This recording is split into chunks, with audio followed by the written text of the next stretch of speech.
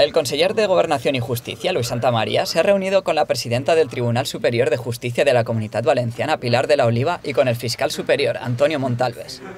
Durante la reunión, el conseller ha anunciado que no hay margen de recortes en materia de justicia y que se va a utilizar de la mejor manera los medios que necesita esta administración. Yo creo que hemos hablado de en fin, la posibilidad de, crear algún nuevo juzgado, la posibilidad de mejorar los recursos que tienen esos nuevos 30 jueces, 31 jueces eh, que, hemos conseguido y que somos la comunidad autónoma que más nuevos jueces ha conseguido